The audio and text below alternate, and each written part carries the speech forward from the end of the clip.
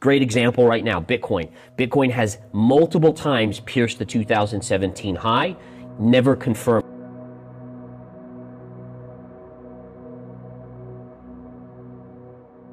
Hello everyone. Today our guest is Gareth Soloway.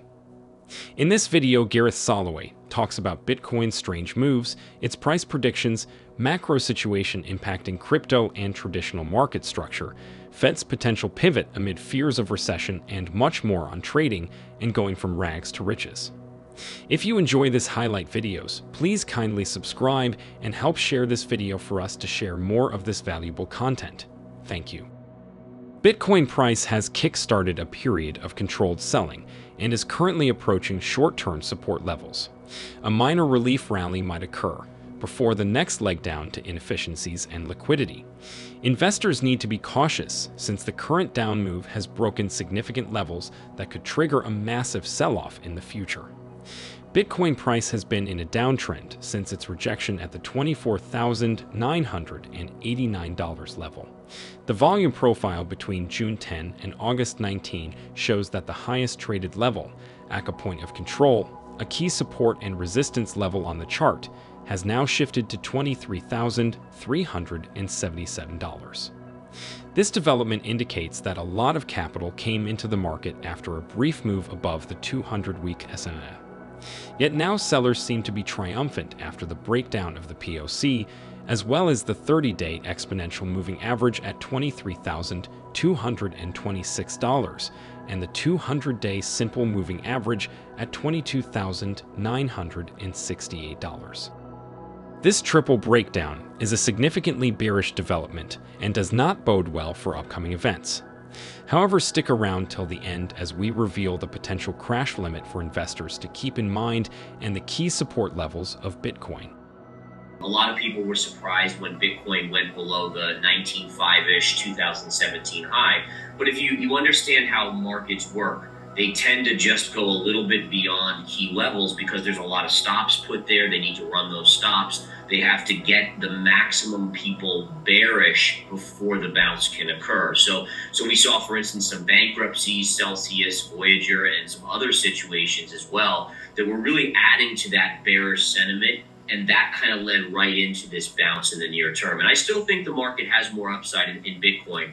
So for me, the first target I have on the upside in the near term is that this pivot low, which was the Terra Luna low, that's probably a near term resistance level, right? We got close. We got within about you know a thousand, little over a thousand dollars away from that. But I still think that that will get hit after such a dramatic move up in Bitcoin, where it went almost straight from nineteen thousand to twenty four. It makes a lot of technical sense why price needs to pause have a little bit of a pullback. We heard from Elon Musk yesterday with Tesla that that Tesla sold 75% of its Bitcoin. Uh, again, I don't think that was anything other than Elon Musk trying to just pare back some risk. But a lot of people that'll be used as a reason to sell their Bitcoin as well, since he has so many followers. So, so for me, I'm looking at more of a 12, 13,000 ultimate bottom um, on Bitcoin. I also think that if you compare Bitcoin and say, okay, Bitcoin is the Amazon.com of its era, right? So, you know, monster company now, but in, in 2000, it, it was a smallish company, you know, not, not the size of Bitcoin, obviously, but it was kind of that, that leader. And we saw Amazon collapse actually 95% from its highs in the dot com collapse, and Bitcoin hasn't even done 80% uh, to 85, which is its normal cycle correction. So, so for me, I look at that, and then just to throw in one more thing, and then I'll I'll, I'll, I'll throw the, the mic back to you, is that we've seen we've seen a lot of this kind of bloodletting going on, but I don't think we've seen all out panic. And again, if anything, this crypto correction should be more substantial than past ones because the Fed is not printing money anymore. This is the first time in Bitcoin's lifespan where the Fed has not been printing a ton of money. So that would lead me to be more cautious, thinking that we could see some further downside after a bounce here. Um, just the fact that the Fed is being more aggressive to fight inflation. So, anyways, I love the fact that we have we have slightly differing opinions. Um, I think that's very helpful to, to everyone, and I'll throw it back to you on that note. Yeah, so so you're 100% right. Is going against the herd is almost always the correct decision when you get to those extremes, and we certainly saw those extremes when we were below 19.5 and below that 2017 high. So I think, in the very least, that that's exactly what I was looking at when I went long Bitcoin as a swing trade as well as the hodl position to get a little bit of exposure there. Um, but the question I would have is like, okay, so as we bounce up, so as soon as we've now bounced up to 22, 23, I think yesterday we hit 24 how quickly does the herd become too bullish again?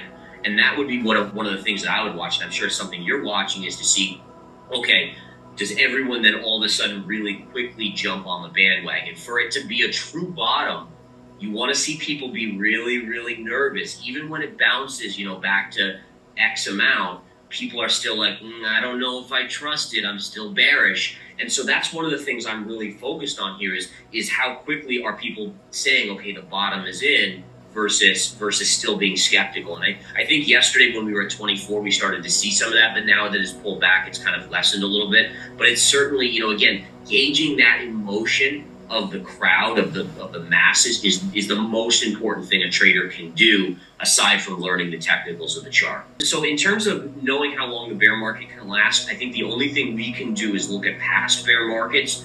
Um, at the same time, keep an asterisk near this one because it's different from the last ones, meaning the Fed is obviously tightening aggressively, inflation is above 2%, much above. But in the, in, since Bitcoin's been around, it's really been 2% or under inflation, at least reported. Um, so you have these different things. But really, if you look at past cycles, it's been about 12 to 18 months that it takes for it to kind of bottom out.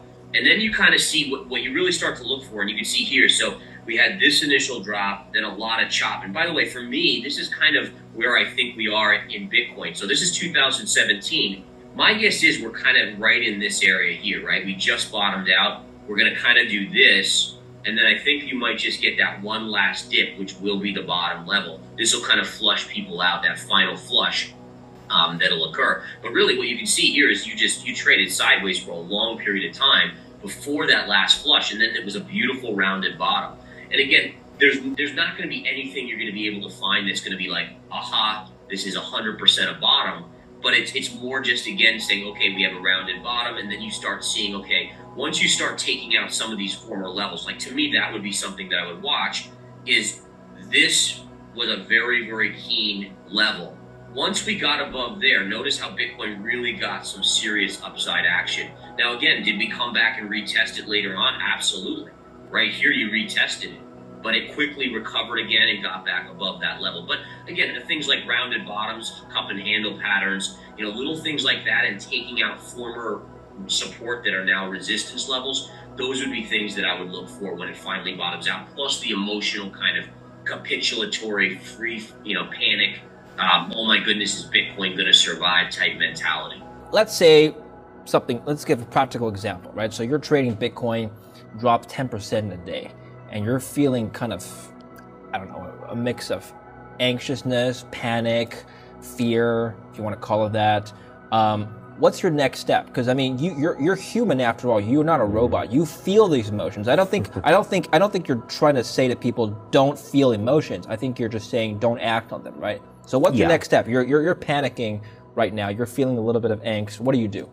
Yeah, so so I think what you do is you step back and you say, okay, listen. Like you physically step back. Yeah, yeah. I mean, physically and emotionally. okay, I mean, if you need to do it physically, and then more power to you if that's where what gets you there. But, but I think you have to you have to be able to start to look at yourself and have that introspective look at yourself and say, right. okay, yes, I'm feeling fear or I'm feeling greed, but now let me step back and say, okay, what is the chart telling me? What are these these factors that I'm seeing in the chart telling me? And that'll ground you. It really does bring you back to earth. In fact, I had someone recently that said, you know, when, when Bitcoin was trading below 19,000, they were getting close to exiting and just throwing in the towel. Yeah. And then they, they remembered what I had said and what I had taught them, and they said, you know what, I stepped back And then all of a sudden, before I knew it, Bitcoin had rallied back up. And thank Yeah. goodness I didn't react to my emotion. Right. So it's it's that ability to look at yourself and to start thinking more robotically. And by the way, emotion's great in life, right? And love and, and empathy, sympathy. I mean, those are all great times to have emotion. Mm-hmm. Just in trading, it will inevitably work against you. And I'm telling you, there are bots, there are algorithms that the, the, the institutions have that know max pain levels on both sides of the market. Mm-hmm. And they will push the market to that level, knowing that if we can get Bitcoin or, or Apple above this level, we'll get a bunch of people to either jump long or if it's down to the downside, we'll get them to exit the trade and then we'll just whip it back the other way. I mean, th- th- this is it's used against investors. They have to get control of their emotion. It could take a while for us to get back to 68, 69,000 in Bitcoin. It took quite a long time for the Nasdaq to get back to the pre-dot-com era mm-hmm. highs. I also think that to wipe out the nonsense, you may even have to go below my low end target of around 12,000 on Bitcoin. I hate to say this and I don't mean to scare anyone. And by the way, in all fair and fair disclosure, I own Bitcoin that I'm going to be holding from around 19,000, right? A small position I started to inch in because I don't know where the low is going to be, but I'm preparing for the worst case scenario of 3,500. Wow.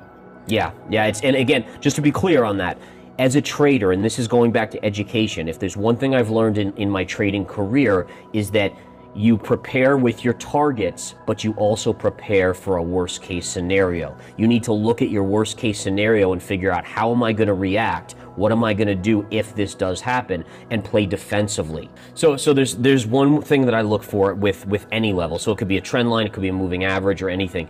If you break below number 1, that could be a fake out. So a lot of investors put stops right below key levels. Well, guess what? The algorithms know these things. So what they're going to do is they're going to pierce that level, knowing that your stop is going to get triggered. You're going to get out of your position, and then oftentimes they'll rip it the other way. Great example right now: Bitcoin. Bitcoin has multiple times pierced the 2017 high never confirming what I use as a confirming signal, which is something we'll talk about in a little bit in, in something that I'm going to be teaching. But basically, there's been these whipsaws and then it goes right back above that 2000 so so basically you have to watch to see does it confirm below that level? If it confirms then it's a real breakdown. If not i don't get out when it pierces a level like that until it confirms. BTC price has moved to the lower limit of its ascending parallel channel in search of support. The volume profile shows the possibility price could completely slice through the bottom of the channel and retest a support area, extending from $21,300 to $20,300. Bears are likely to push Bitcoin priced down to this level before taking a short break.